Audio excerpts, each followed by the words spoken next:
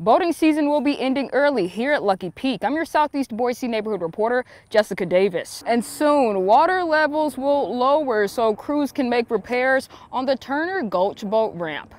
Boating season will be shorter this summer at Lucky Peak. Our marina uh, will have to close early, about six weeks early this year. Water levels will start getting lower starting on Monday in order to access the Turner Gulch boat ramp in need of repairs. There's nothing under there you know, this is all undercut and it's putting us, you know, anybody that's using this ramp at risk.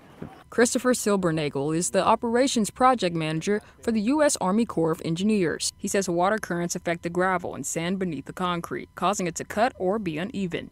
And what happens is it, it gets underneath the ramp and washes out the sand and gravel that's underneath the concrete. And what that creates is a void that potentially could crush in as you're driving, you know, a heavy vessel or any heavy equipment could crush that in and then obviously cause some issues. The new design, they're gonna actually have a, a training wall along here, a thickened edge, so to speak.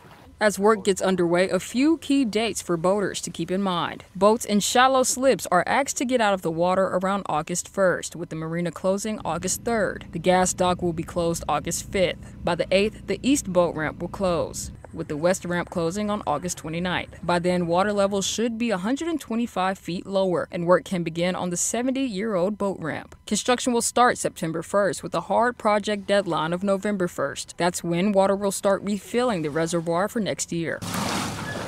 We're pushing out the recreation is the only thing that might be getting the short side of the stick, but we had no choice because if we push this out further, we're at risk of keeping the pool too high and then we don't have the storage capacity for next spring and we're putting ourselves at, at a flood risk. Water levels will start dropping on July 22nd with boaters being encouraged to get their boats out of the water throughout the month of August with construction starting right on September 1st. I'm your Southeast Boise neighborhood reporter Jessica Davis reporting for Idaho News 6.